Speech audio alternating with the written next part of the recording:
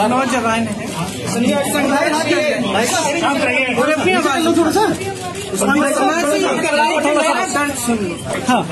और ये सरकार इतनी अहंकारी बन रही है। कि एक नौजवान को कुचलना चाहती है। ये आवाज़ सुनना नहीं चाहती है नौजवानों की।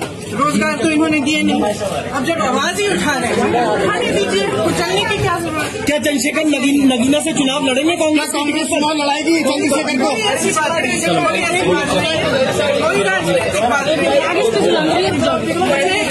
है। इस लड़ने की का जोश पसंद आया अच्छा लगा कि